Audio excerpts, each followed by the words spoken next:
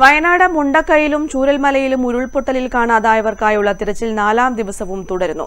ചാലിയാർ പുഴ കേന്ദ്രീകരിച്ചും തിരച്ചിൽ ഊർജിതമാക്കും. ചാലിയാർ പുഴയുടെ നാൽപ്പത് കിലോമീറ്ററിനുള്ളിലുള്ള എട്ട് പോലീസ് സ്റ്റേഷൻ പരിധിയിലാണ് ഇന്നത്തെ തിരച്ചിൽ നടക്കുക.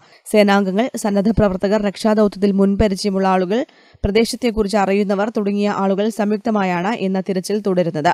Attamala Mundakkai Punchirimattam village road school area downstream എന്നീ ആറ് സോണുകളായി തിരച്ചിൽ നടക്കും.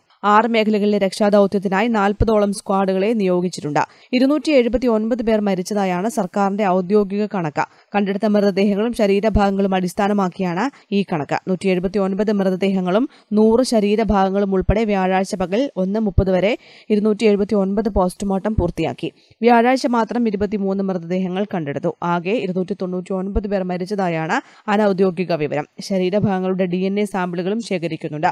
തിരിച്ചറിഞ്ഞ നൂറ്റി അഞ്ച് മൃതദേഹങ്ങൾ ബന്ധുക്കൾക്ക് വിട്ടു നൽകി. അവശേഷിക്കുന്ന അവസാനത്തെ മനുഷ്യജീവനും പുറത്തെടുക്കും വരെ രക്ഷാപ്രവർത്തനം തുടരുമെന്ന് അധികൃതർ അറിയിച്ചു.